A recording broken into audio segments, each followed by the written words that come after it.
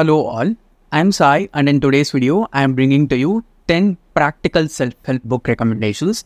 I read both fiction as well as non-fiction books and I'm pretty sure you know that if you've been following me for a while. And the reason why I'm doing this video in specific is because I was not that much into non-fiction 4 to 5 years back but around the end of 2019, I started reading nonfiction books and in specific self-help books. I do like other kinds of nonfiction books like memoirs, biographies and such also. But I've always felt like I've gotten a lot more out of self-help books compared to the other subgenres inside nonfiction. These 10 books that I've chosen today for this video are all easy to read and they're perfectly suitable for beginners as well as seasoned readers. They all cover different topics in specific and each and every one of them is detailed in their approach at the same time very simple to read. The best part is that you'll be able to practice each and everything that the author is talking about in these books because as I mentioned in the title and thumbnail, all these books are super practical. I've got both Indian as well as international books. So without any further ado, let's get into the books right away. The first self-help book that I'm recommending today is an Indian personal finance book and it is also one of the books which is super worth its popularity and it is Let's Talk Money by Monika Halan. I was a bit skeptical getting into this book, but trust me, this is the best nonfiction book that I've read so far in 2024. I'm also planning to read the next two books that the author has written and published so far. You can see the number of tabs that I've put inside this short book, and I have even more highlights than the tabs inside the book. Here, the author basically talks about what all we Indians are doing that is making us not rich but stay in the same financial level that we are in when we see the society as a whole and how we have to concentrate on different kinds of investments and savings rather than the normal schemes that the generations before us have been following. It is a book that is not just great for the present time but also has a wonderful foresight. I'd recommend you to read this if you're either in or out of college. Before that, it is not necessary because it might be a bit intimidating. But if you're just about to start earning, I'd highly suggest you to read this one. And I can easily say that if I had read this book two to three years back and started practicing some of the things that the author talks about in this book, financially, I'd be much more secure now. So if you're going to pick only one book from this list, let it be this one. It'll help you in all other aspects. Next, we have a super popular social media book, and the author of this book is also super popular on YouTube as well as Instagram, and she's rightly so. The book is why Has Nobody Told Me This Before by Dr. Julie Smith. I'm pretty sure you have watched at least a few shorts or reels of this doctor, and this book is just as amazing as any of her short form content. In this book, the author basically talks about different ways that you can put into practice to deal with low mood on a daily basis. Now, this book does not talk about very serious mental health issues like depression, anxiety, OCD, and all such stuff. It just talks about the day to day challenges that we face in terms of mental health because of so many reasons. And one of the main things that the author covers throughout this book is low mood.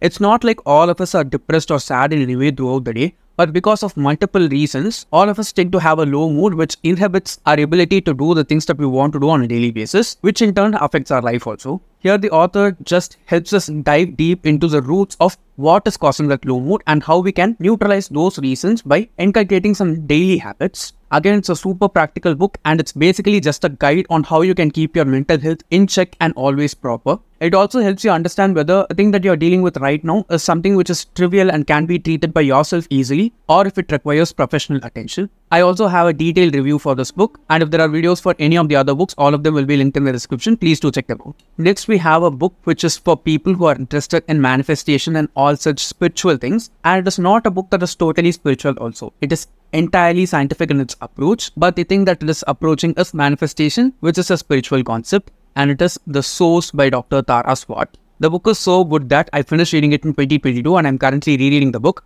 I'm nearly like halfway through it and I'll probably finish reading it in September itself. And how visualization as well as all the visual tools that we help to trigger our brain in order to achieve the things that we want actually happen. The author is a world-renowned neuroscientist and when you read this book, you'll be able to understand why she is so popular and why the things that she says are very easy to grasp. Okay, she's super well-versed in her field that she's able to make us understand such complex concepts in a very simple way. This book might be a little bit heavy because it has certain scientific biological terms here and there. Otherwise, I cannot say anything about this book is difficult to read at all. Even that is not difficult, okay? The author actually explains each and everything that she says and it also has a lot of exercises that you can do then and there while you're reading the book. Again, it's a very short book. It will hardly take a weekend for you to finish reading this one. And trust me, once you finish reading it, the way in which you start imagining your life will change. And once you change it, you'll also see that your life is also automatically changing. So yeah, if you're into manifesting, please do go forward and try this book. It is definitely a must read. The next one is a book on relationships, and you can consider this book to help in both romantic as well as platonic relationships. And the book is Eight Rules of Love by Jay Shetty. Now, this is quite a big book and it will take a little bit of time to read, but everything that the author talks about here is a blend of people skills and spirituality put together and i just love the heck out of it now i am a person who does not have that many problem with any kind of relationships that i have but even I, after reading this book, was able to understand how I can make my relationships better. And if you're a person who's having some kind of conflict in any of the relationships that you might be having in your life, you can easily sit down, talk it out, and easily resolve it and it also deals with love in a very non-glorified way which i just enjoyed throughout. It makes it as simple as just an emotion or a connectivity that you have with a person. And the love that you have with different people is different right? You don't have the same kind of love with your partner and your parents. And it's not the same with your siblings and your friends each and every kind of love is different and how you can approach all these different kinds of love using these eight rules is what the author talks about here. I think i'll probably reread this book because the first time i read it i did not have such high expectations but after I finished reading the book, it definitely blew my mind. And if you're having some kind of relationship problems, this is definitely a go-to book for you. Next, we have another Indian self-help book. And this is basically the best self-help book that I read last year. And it is Don't Lose Out, Work Out by Rujuta Diwekar. This book was actually suggested to me by my brother. He was trying to lose some weight last year. And after reading this book, he followed certain things. And trust me, he has gotten to look younger than I am right now. And he's four years older than me. Now, I've been experiencing a lot of changes in my weight for the past two to two and a half years. And after following some things that the author talks about in here, it's pretty much easy to just keep the weight consistent. Okay. It's basically about treating your body to be that human being and not just some kind of machinery. The author is super practical her approach. Okay. She has such a deep knowledge inside the field and she basically tells us that it doesn't matter how heavy you are, it does not have anything to do with how healthy you are at all. And after reading this book, I was totally able to understand that. And I was also able to understand why it is necessary to train with weights, at least to some extent, especially after you're 30 years old. In short, I can say that this book is not for weight loss, but for understanding what workout means. Hence the title, Don't Lose Out Workout. If you have not given this a read, please do go forward and try it. It's a gem of a book. And I personally think many more people need to read this book in order to understand our bodies better. The next one is a book on productivity and time management. I have recommended Deep Work by Cal Newport many times when it comes to productivity and time management before, but I think that book might be a bit intense for some people. So I'm going with a much lighter suggestion right now, but it is nonetheless lower compared to Deep Work in any way. And the book is Make Time by Jake Knapp and John Zeratsky. The only drawback for this book, if you ask me, is its price point. Okay, it's very, very high in quality, so it is quite pricey, around 600 700 rupees for a paperback. But if you ask me if it's worth the money, it is 100%. Okay, because the authors have kept in mind that anyone who reads this book starting from like you know fifth grader to anyone who's like so much older and experienced in their field must be able to understand. Okay, it's written with that in mind and it is super approachable. It's a very visual book and it does not take much time for you to read through the book and understand the concepts as such. The authors basically give us various different frameworks that we can put into practice in our daily lives itself based on the different types of needs that we have where we require more time to do certain things in order to become more productive and you know move forward in those specific areas of our life. It might look like a big book, but trust me, it's not. Okay, if you start reading it, you'll be able to finish it in maximum one day or so because the authors just get to the point each and every time. They don't beat around the bush at all. At the same time, it's so friendly to read. Okay, it feels like you're sitting with a friend and they are teaching you certain things in a very nice, comfortable, and kind way so that you can make the best use of your time in life. Please don't be frightened or keep this book away because of its price because it is so pricey because it's so much worth it. So if you can afford buying this book right away, please do go forward and try it. It's definitely one book which I think most people are not reading mainly because of its price. Please, if any publisher is watching this video, try to make a cheaper edition of this book that can be accessible to more people. So yeah, this is easily one book I'd highly, highly recommend. No matter in which stage of life you are in, if you want to make the most out of your time, you have to read this because it will literally help you make more time. Next, we have a book on manifestation. It's this, and it is Manifest by Roxie Nafousi. It is easily one of the best self-help books that I did in 2023. Okay. And after reading this book, I also practiced a lot of things that the author says here. And it just makes the process of manifestation much more easier and enjoyable to. I'm currently reading the companion for this book, which is Manifest Dive Deeper by the same author. It's this blue book you can see over here. So in this book, the author basically talks about manifestation and breaks it into seven easily achievable and doable steps. And it's not like all these seven steps take a specified amount of time. Okay, totally depends on an individual and what part of life or what phase of life we are in at right now and how we can fast forward the process of manifestation by identifying the hurdles that we have in our lives and how we can overcome them by doing certain very simple actionable things. It also talks about self-love and how it can be totally different for totally different people. Sometimes self-love is also tough love towards yourself. The author beautifully explains it over here. I have a full-length 20-minute video or something for this book, which basically summarizes the entire book for you. So if you're interested in getting to know about the book a little bit more before buying it, I suggest you to watch that video, which is also uh, linked down in the description. So yeah, super practical when it comes to manifestation as a whole. So do give it a try. The next book is quite a hard book to read because of how the author has written it because it is not simple okay it's quite harsh and the book is ego is the enemy by ryan holiday now, I was a bit skeptical about reading this book because I thought that I'm not that much of an egotistical person. But no matter who we are, okay, even the saintliest of the persons does have an ego within us, okay? And that ego is not good or bad. It's only how we respond to it and how we handle it makes whether things happen in a good way or not so good way for us. And that is just one thing which the author makes us understand by the end of the book. And it is that we have that small voice in our head. We have to identify whether it's our true self that is trying to move forward in life or if it is our ego trying to hold us back and keep us here itself because it feels safe.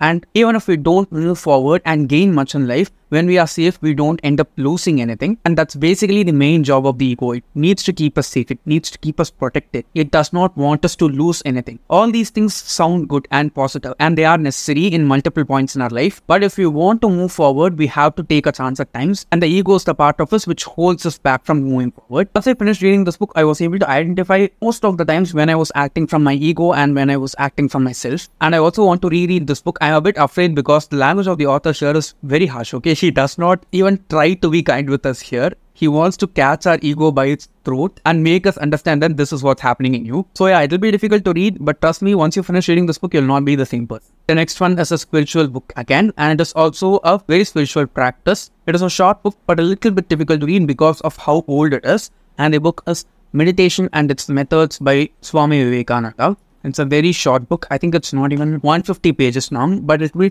take quite a bit of time to read it because of the language that the author uses here. It's a bit difficult to understand, but if you take your time, I'm pretty sure that you'll be able to understand it really well. But the author just talks about what meditation is, how we need to do it and how it will be difficult in the start to practice because it's also just a habit like anything else. And once we start doing it regularly and consistently, how it can actually just become a part of our life and a way of living itself rather than just a practice. Since the book is very short, I cannot talk much about it without, you know, letting things out. But if you are someone who's interested in meditation and learning to meditate, this is definitely a book that can help you a lot. I've been meditating for like three and a half years now, and the effects of it on me have been nothing but great. It's good for your body, it's good for your mind, it's good for your life in general. So if you're even in school, I suggest you to start meditating now itself. Five minutes a day is more than enough if you're that young and as you keep practicing you can decrease the duration and uh, you know try out different things for yourself so yeah just go forward and try this book i'm sure it will help the last book is one which focuses on our physical health and it is the Power of Posture by Renu Mahtani. In this book, the author talks about different postures and uh, yogasanas and different kind of pranayama or breathing exercises that we can do in order to keep our bodies healthy. Okay, most of us lead sedentary lifestyles right now, especially in our generation. And I'm pretty sure that if you're watching this video, you're just sitting down and uh, watching it while you're relaxing. It's completely okay. It's completely normal right now. But we also need to move our bodies in order to keep them more healthy for a longer period of time. We don't want to get pains in joints in our 30s itself, right? Everything that the author talks about in this book, every kind of thing that she says here is easily doable and it does not take much time out of our day. It takes hardly 5 to 10 minutes each and every day to keep our body healthy and you know flexible. And the author also talks about how we all need that little bit of belly fat that we carry in order to keep our spine healthy and keep the bone structure of our body intact and proper always. It's definitely one book which I've read not many like before or even after. I think it might be available for free to read in Kindle Unlimited because I remember reading it in Kindle Unlimited only. But the paperback is also available and it's totally worth it because each and every asana that the author talks about is shown as images step by step inside the book. So you'll probably not even have to go and consult anyone unless otherwise suggested by the author inside the book. So yeah, definitely friendly for beginners. Anyone who's from school can also read it. So just give it a try. So yes guys, those are the 10 practical self-help books that I wanted to recommend to you today.